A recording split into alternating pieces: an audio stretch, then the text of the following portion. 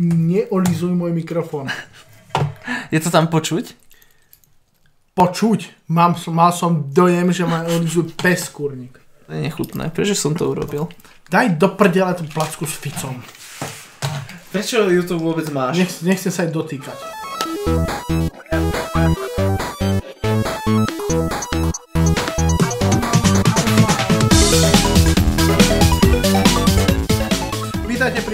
Dieli podcastu. Som tu ja, Marek, je tu so mnou Ďuri, pozdrav. Zdravím celé Slovensko! a všetkých za okrajom.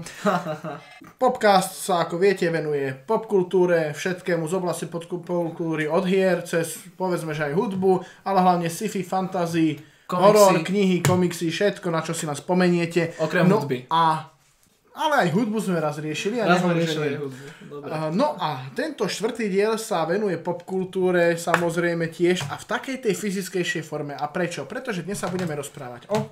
O uplynulom kone, ktorý sa dohral tak týždeň, možno dva dozadu a to bol Anime Show Game Expo. A môžeme sa o tom rozprávať hneď. Prečo? Pretože ste nám zase nič neposlali do listárne. Ďakujeme.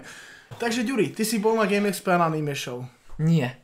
Ja, Ja viem, som- že nie. Ja sa ťa to pýtam, lebo sa ti rehoce, lebo ja som tam bol, Ja vieš? som nebol, ja som poslušne makal v Tesco na to, aby som mohol ísť na nejaké iné expo. A už si to aj tak minulo. Nie, ešte mi neprišla výplata.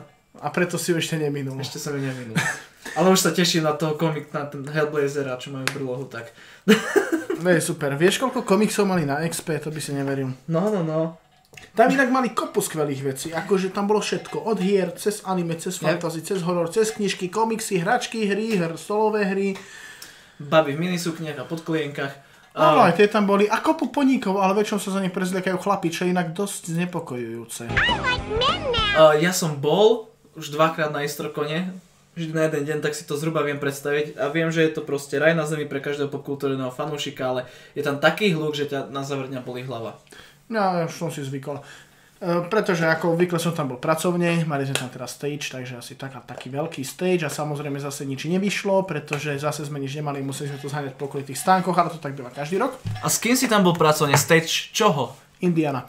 A celkovo vlastne my sme boli na tom, tam bolo niekoľko poschodí, lebo to je tá veľká, to, to je tá veľká hala vlastne, má niekoľko poschodí. A ona je delená tak, že vlastne na prízemí je vstup a nič iné, lebo sa tam nič iné nezmestí. No, jasné. Na prvom poschodí máš šatne, obchody, stolové hry. To je interesantné. A, no a no a vlastne také tie obchodíky, ktoré ti predávajú placky, plišáky, A čajovňu. hračky, geek, e, geek veci No, no, no. a čajovňu. No a potom na tom vrchnom poschodí, kde sme boli aj my, tak tam máš hry. To je všetko vlastne o hrách.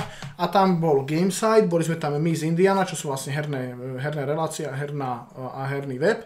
Uh, laser game tam bol, to je také to, čo sa strieľate laserovými pištolkami. Boli tam staré automaty arkády. Asi 10 To- ich tam bolo. Ktoré? Jeda, Raiden, Mort, eh, nie, Mortal Kombat bol na starých konzoliach ešte vedľa, to sa k tomu dostaneme. Bol tam Raiden, bol tam Golden Axe, eh, Tekken myslím, že nejaký tam bol. Dobre, Tekken mi niečo hovorí, fajn. Pokračuj. skrátka samé takéto arkádové klasiky, Teenage Mutant Ninja Turtles 2, A samozrejme. to pokiaľ tam nebol Pac-Man, alebo ma... ma Chcel, ale chcel inak, tento rok tam mal byť Pac-Man, ale že to nevyšlo nakoniec, že pravda. nestihal to dokopy ten automat, takže tam nebol. No a ešte tam boli aj staré konzole v rade, tam, bol aj, tam boli skrátka ďalšie tiež hry e, na, normálne na starých CRT obrazovkách, lebo na čo iné, tam, tam boli také klasiky SNES a Nintendo a podobne. A prečo si nám jednu tú konzolu sem neukradol? My tu nemáme žiadnu konzolu, mohli sme sa čosi hrávať. Ja nekradnem, ja som slušne vychovaný človek, hambi sa, že na tom vôbec zmyšľíš. Nedalo sa. No a samozrejme, bolo tam kopec odborných prednášok. Odborných?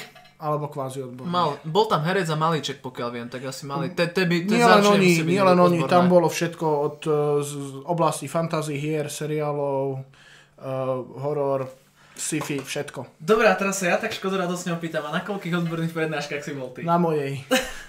Gratulujem. Pretože sa mi kryli akurát s vecami, ktoré som potreboval robiť u nás, všetky, na ktoré som chcel ísť. Takže Mám ešte jednu otázku. Odkedy si odborník? odkedy, to A od na- sebe, odkedy to od sebe vyhlasujem, čo je 5 minút dozadu. Ja, a na čo si bol odborník? Okrem Na hernú hudbu. Jaj, takže nie na jedenie. Nehovor si, ako správne jesť Práve, že- vašej obľúbenej show. Kiež by, veď ja som sa tam na jesť ani nestíhal, tam furt čo robíš. Preto si schudol. Preto som schudol. No a inak, bolo tam kopu detičiek. Čo je inak novinka. detičiek akože vo veku od 5 do 13, 15. Niečo v tom zmysle, skôr do 13, od 10 až 13. To tam čo robilo? Uh, boli pri našom stage. Prečo boli pri vašom... Pretože sme na našom stage hostili let's playerov slovenských a českých. Ježiši. a youtuberov slovenských a českých. Ja mám kamoša, ktorý robí let's, let's play a má asi tak 9 rokov a robí let's play z Minecraftu. Je úspešný. Minecraftom Až tak sa- sa spýtať. Minecraftom sa vždy začína, pretože je najľahší.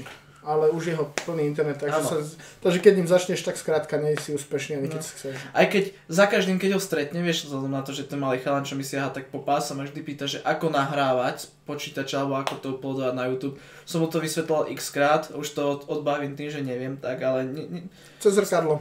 sa, mi, sa, sa, mi, sa mi zdá, že asi tam niečo má a až nie, tak by strašne chcel mať proste. Ale viem, že sleduje let's playerov a všetko to komentuje, tak Ej, je z toho to tak je- ved- vedľa vykladá mi vždy, ako pozeral niekoho na kanále. Ako Oni tí let's playery sú v práve majú divákov tejto vekovej kategórie 9 do 13. Takže Však, lebo tak. my inteligentnejší, ako nechcem byť zlý na to decka, ale my, Nie, my inteli- starší. To nie je veľmi... Skrátka, my starší nás to nezaujíma. my, my starší, lebo my si tu môžeme zahrať priamo. A Na to čo, na nie- sledovať ako druhý človek Nejde nutne o to, že si to zahráme priamo, ale nám sa to nezdá vtipné už. Ale vtipné to môže byť, však ja som minule pozeral Chrisa, Bordažlanc, Lenže Chris má On- staršiu, on nemá detičky až tak. on, no on tam tak vravel, že napríklad, že Marek mi tu zatvára dvere, čo ma strašne rozosmialo. Áno, to bol odkaz na mňa. Áno, to bol odkaz, na- preto ma to rozosmialo, ale že, že to ma bavilo, len som si proste vravil, že na čo to má sledovať, keď si to ten istý čas proste real timeovo takisto môžem zahrať ja sám.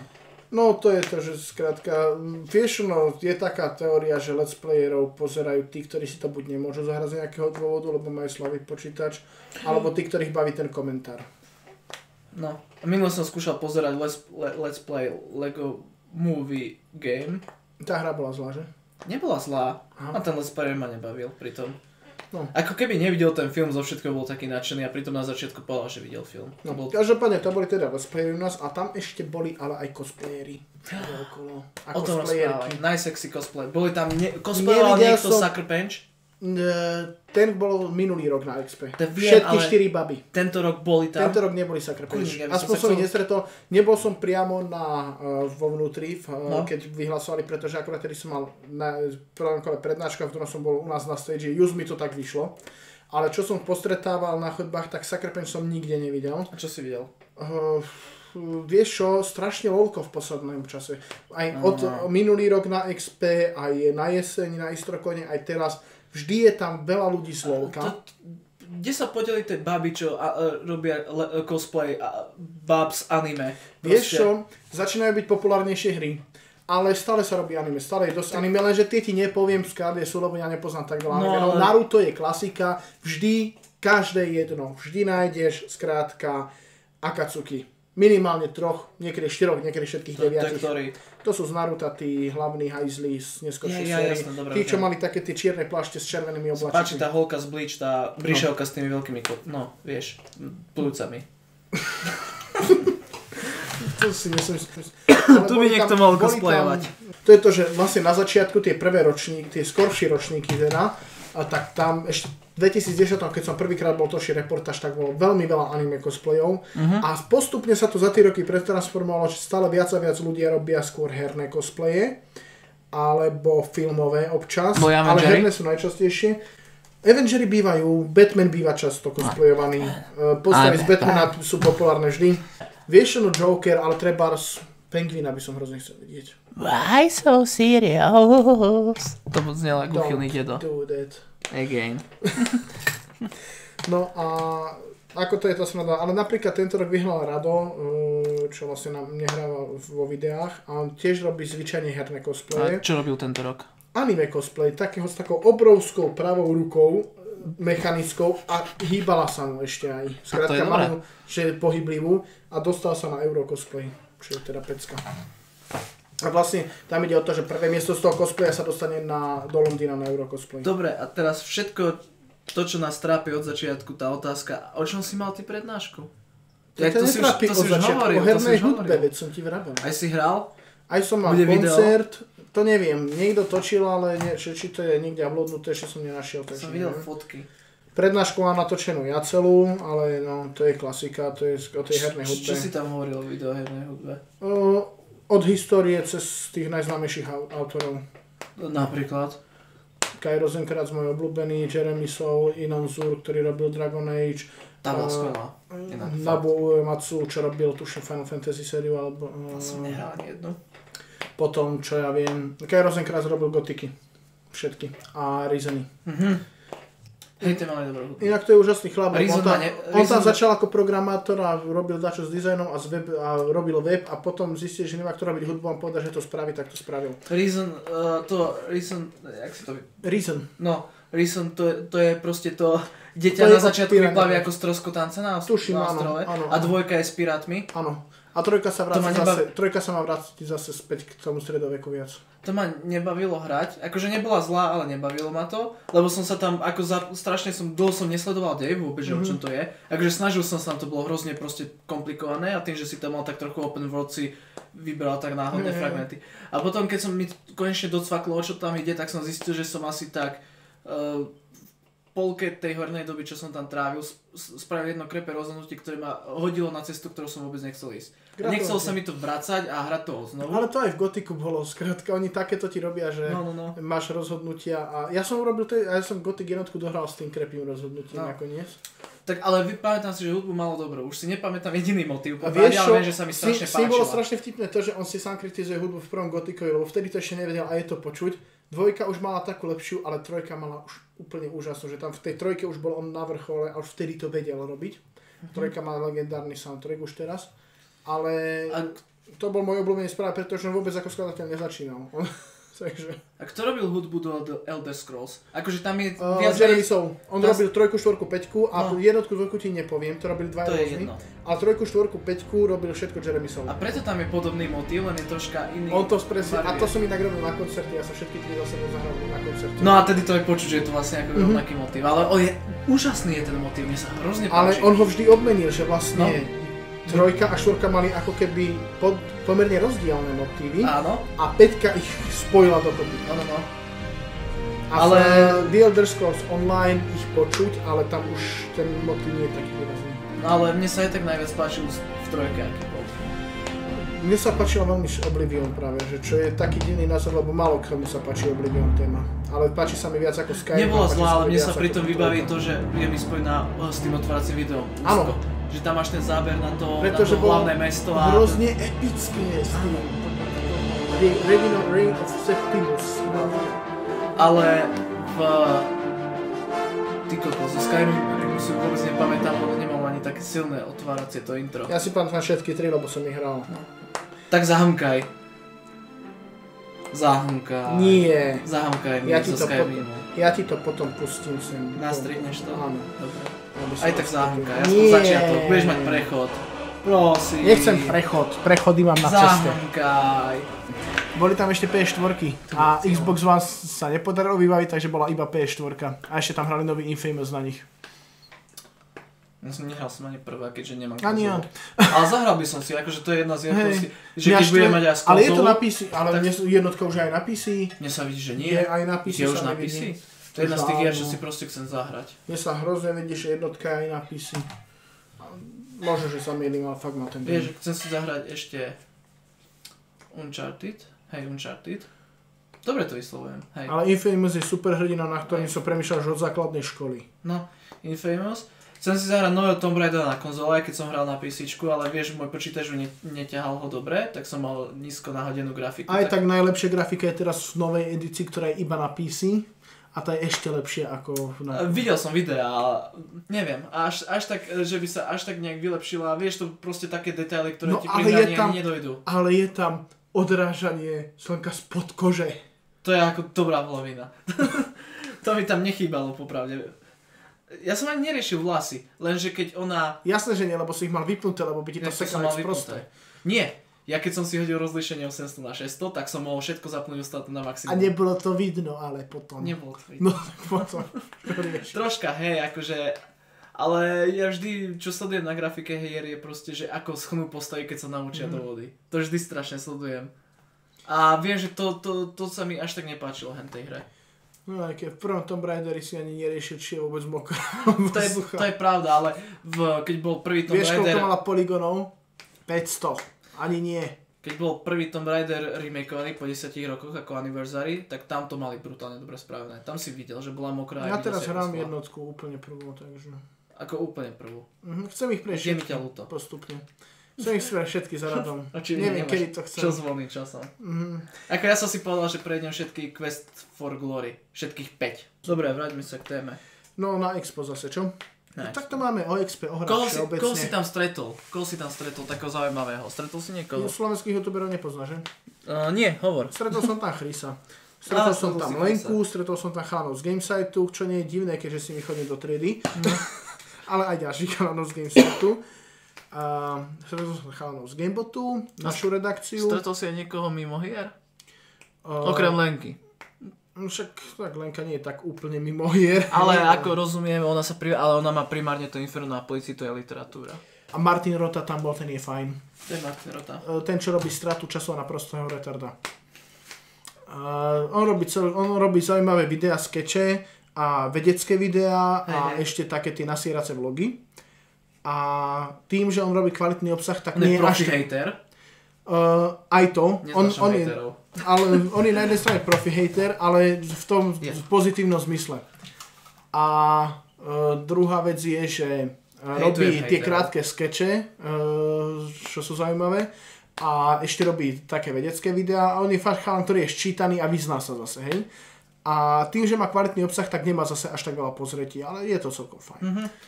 No a no a hej, ako sme vytvorili tých Medros. Vieš, oni sú zvyknutí už teraz za tých akciách, alebo tak ako deti a všetci si od nich pýtajú podpis. Čo mimochodom taká zaujímavá dáva Ja- ja.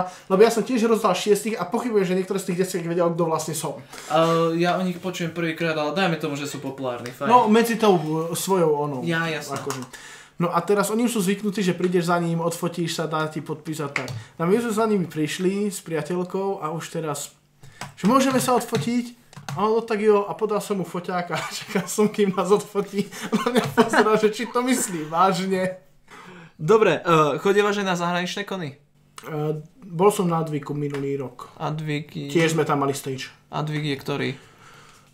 Hlavne anime, ale niečo také To ako Istrokon? Game Expo, ale v Prahe. V Prahe, OK. Je to menšie. Tiež to robí, no, uh, Anime Crew, už teraz po novom, kedy si to nerobila, odkedy to robí, tak už sme tam aj my. Je to fakt, ako ja neviem, tí pražskí stafáci sa mi nepáčili. Aha. A vôbec Takže- celkovo ten kon, stal sa mi tak, ako nevrajím, že my ich máme úplne dokonale po organizačnej Čiže, stránke, zdalo omylom. sa mi to ešte horšie, pravdu povediac. Takže tie veľké české kony ako Phoenix Con alebo Na Festival som nebol. Fantázie. Ale ja by som na A ne nešiel takedy. Naši od nás redakcie tam chodia, ale ja som ešte osobne nebol na Prečo? žiadnom z nich. Mm, Väčšinou to vychádza blbo, pretože oni niekedy sú, že štvrtok, piatok, sobota, nedela a my máme školu vtedy. A teraz si zober si, že 8 hodín len cestuješ. Ja by som išiel minimálne na ten Phoenix Con, to je že vraj dobrá akcia. No tak možno, že takedy zajdem tam aj. A Ale že- ešte, že- ešte teraz bežia napríklad veci ako tento víkend, vlastne už No. potom, keď sa bude vysielať podcast, tak už minulý víkend, No. je For Fans, čo je vlastne akcia, kde, oni, to je vlastne sprievodná akcia s ďalšími vecami, oni robia toto For, je tam For Games, For Sun, ale teraz tam For Games nebude, to bude až niekedy na jesen, tuším, nie som si istý.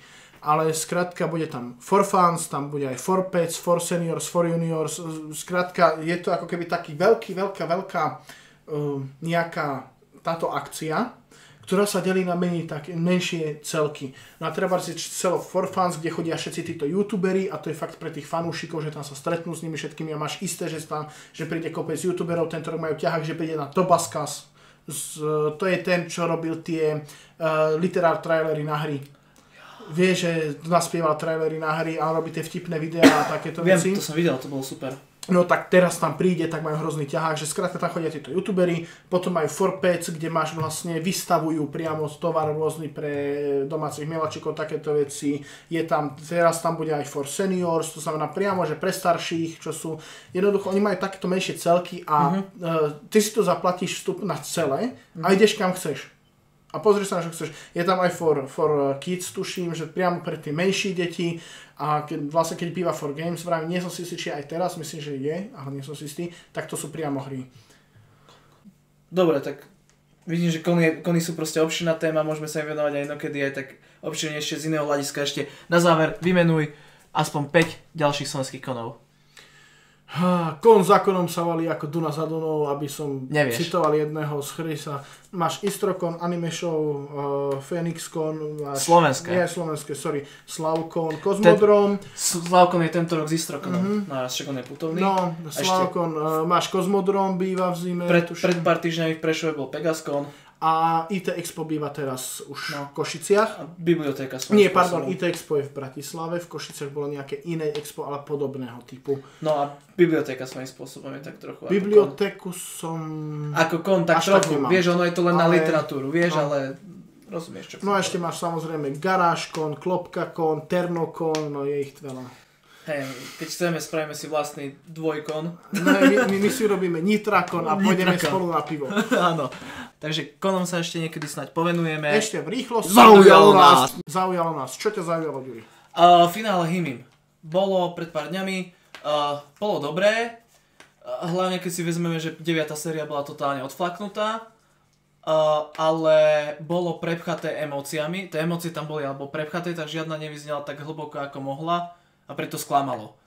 Ono mohli úplne spraviť to inak, že nebola by celá séria sa odohrávala priebehu dvoch dní, že mohli prvé dve časti sa odohrať priebehu tých dvoch dní a to, čo bolo vo finále, natiahnuť na celú sériu. A bolo by to mnoho zaujímavejšie.